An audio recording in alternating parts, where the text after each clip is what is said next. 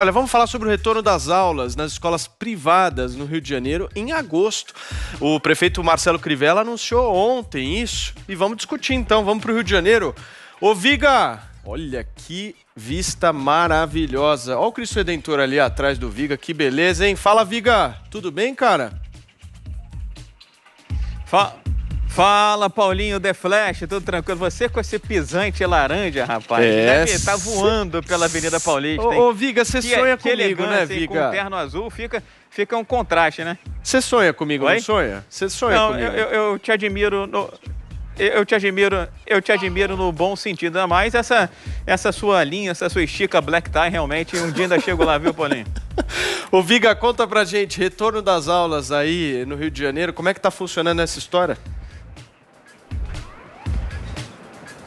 Tá dando um fudúncio danado, viu, Paulo? Por que, que eu estou dizendo isso? Porque hoje está rolando, está acontecendo uma nova reunião de um grupo de trabalho que vem discutindo há muito tempo o retorno das aulas presenciais, mas ainda sem acordo, sem consenso. Os donos dos estabelecimentos comerciais é, querem a volta às aulas. Eu, inclusive, sou pai é, de duas crianças, né? O pequeno Bin Laden e a pequena Saddam. A pequena Saddam é pequenininha, ainda não está no colégio. Mas o pequeno Bin Laden, enfim, está é, tá na aula remota lá em casa há muito tempo. E os colégios já começaram a enviar comunicados e comunicações dizendo, olha, as aulas presenciais vão voltar agora na virada de agosto para setembro. E o prefeito Marcelo Crivella, ele tem essa postura, entendeu, de querer a volta às aulas. Mas ele diz que vai ser no modelo, a não ser que a reunião de hoje mude esse parâmetro, mude essa referência, vai ser do modo facultativo. Significa dizer o seguinte: abriria a escola que quisesse, iria para aula o aluno que quisesse, que tivesse autorização do pai, e iria dar aula aquele professor que assim se sentisse confortável.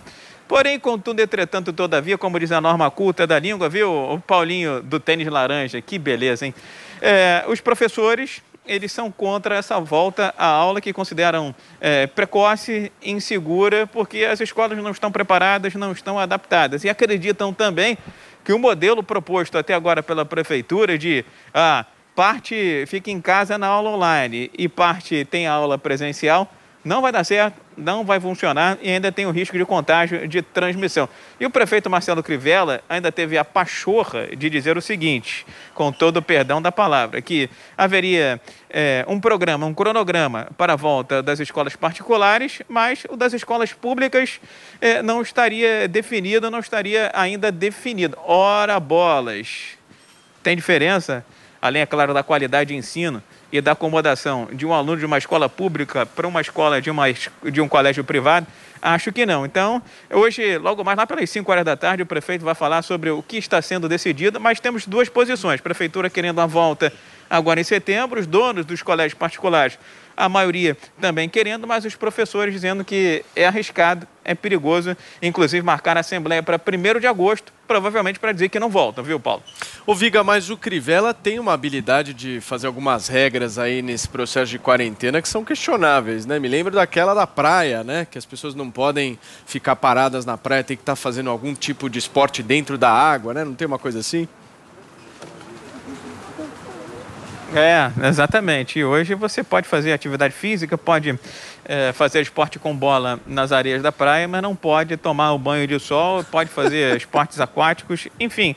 É, vai tirando lá as suas é, cartas da manga, vai tirando os coelhos da cartola. A gente não pode esquecer que esse é um ano sensível, um ano de eleições, então ele, de certa forma, muitas das vezes, embora tenha sido melhor sucedido do que o governo do estado do Rio de Janeiro no enfrentamento à pandemia de Covid-19, ele tenta ser simpático e menos antipático uh, em relação a vários grupos, a vários segmentos, porque ele precisa de um, um negocinho chamado voto lá em novembro, né, é... meu caro é, Paulo? Muito bem, Viga. Viga, valeu, viu? Obrigado pela tua participação mais uma vez aqui no Morning. Alguém quer fazer alguma pergunta para o Viga sobre a situação lá no Rio de Janeiro? Fiquem à vontade aí. Quer? Joel, Paulinha, Adriles? Não? Hum. Tudo certo? Então, agradecer mesmo. O Adriles não vai perguntar você. hoje? Eu não, Viga, queria fazer, Viga, uma, hoje? Gente, fazer um comentário. Vocês fazendo isso com o Viga, ele vai ficar extremamente chateado. Vai lá, Adriles. Não, eu queria fazer um comentário. Eu queria dizer que tem que voltar. Uh, vai, vai voltar quando? Ano que vem? Vai esperar a vacina de Oxford, do Bolsonaro, da China, da Rússia? Uh, eventualmente, as crianças precisam das aulas presenciais. Eu conheço pais e amigos meus que estão ficando absolutamente ensandecidos uh, com a energia represada de crianças dentro de casa. Elas precisam aprender. As pessoas não têm ideia da falta que faz um ano letivo na vida da, uh, da superação de uma criança, sobretudo as crianças mais pobres. É só tomar as medidas de distanciamento. Sim, é dificílimo. Mas mais difícil é deixar crianças e a população inteira confinada dentro de casa por medo do vírus. Gente, a vida tem um contingente de risco. A gente sabe que crianças e pessoas mais jovens são pouquíssimo suscetíveis a, a fragil, é, a, ao, ao vírus, ao coronavírus. E, eventualmente, o que se deve fazer é o isolamento vertical de algumas pessoas mais velhas ou mais doentes e, e separá-las do contato e do convívio com as crianças. É a única coisa a ser feita. Agora, o que não dá para fazer é isolar todo mundo o tempo todo de maneira permanente. A gente está indo aos shoppings, a gente está indo aos parques, a gente está voltando aos trabalhos e o principal fomento da construção de uma sociedade saudável é a educação. Você vai deixar crianças dentro de casa até quando? Até surgir a vacina? É impensável isso. Perfeito. Quer falar alguma coisa, Joel? Olha, o gestor público, ele, ele não pode se dar o luxo dessa, dessa total irresponsabilidade. Ele tem que pesar as diferentes demandas. O Adriles levantou um lado e um outro lado também, que é o da saúde pública. Eu entendo a dificuldade para um prefeito neste momento. Eu também fico ansioso com isso. Eu tenho dois filhos também, sei como é que é ambos na escola. Mas entendo também que se você simplesmente liberar tudo, você pode trazer um dano tão grande, até um colapso do sistema de saúde. Então, de alguma maneira, é as autoridades tudo, têm que pesar Joel. as duas coisas. Não é, Paulinha... não, é, não é liberar tudo, liberar com cuidados, que eu já falei aqui. Deixa eu perguntar uma coisa para Paulinha, ela que é mãe de dois filhos, você se sentiria confortável de fazer os seus filhos voltarem agora para a escola? Não, gente, eu não. E é por isso que as escolas vão ter que oferecer, pelo menos as privadas já estão pensando nisso, é, opções. Eu acho que tem pais, no grupo de pais mesmo a gente vê ali, alguns não ligam, querem mandar, outros já tiveram a Covid, por exemplo. Tem um caso lá, uma mãe que teve, não passou para o filho e que se sente confortável em mandar, enfim, cada um acredita numa coisa.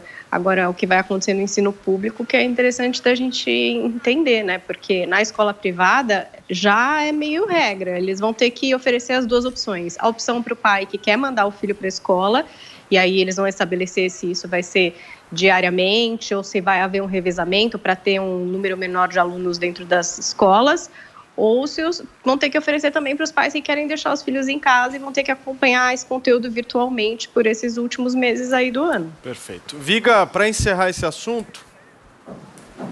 Paula. Pode, pode deixa, comentar, deixa eu só Viga. fazer uma colocação, porque... Isso, fica à vontade. É, sem querer bandear para o lado ou para o outro, mas é, com a medida de flexibilização, né, da redução do distanciamento, da quarentena, tem muito pai que voltou a trabalhar presencialmente e continua com o filho em casa. Esse, sem dúvida é. alguma, é com um certeza. importante e relevante complicador. Agora, agora por outro lado, Adrilho estava sentindo falta da sua intervenção. Paulinha sempre muito querida, morando no meu coração. O meu caro Paulo, é importante dizer o seguinte, que a mecânica, a dinâmica é, que está sendo montada aqui pela Prefeitura do Rio de Janeiro prevê, por exemplo, a volta dos alunos em estágio mais avançado. Aqueles estão é, já mais velhos, têm mais maturidade sabem lidar melhor com essas regras de distanciamento, uso de máscara, álcool gel e coisa e tal. E os menorzinhos, os pequenininhos, voltariam depois. O período de aula seria encurtado para duas horas, duas horas e meia, e haveria também um turnover, né? haveria um, um, um rodízio de alunos, para que não houvesse concentração ou aglomeração de alunos dentro das salas de aula. Mas é, cá entre nós, se a estrutura é, do colégio público, da escola pública, já deixa muito a desejar em pois tempos é. normais, imagina agora com todas essas regras e restrições. Fico bastante curioso para ver como é que vai ser a solução. Muito bem, Viga, mais uma vez muito obrigado pela sua participação aqui no Morning e a gente se vê por aí. Valeu. É isso aí, gente. Valeu, Agora... esse tênis aí acho que você faz em 10 segundos da ponta da Paulista para outra, hein?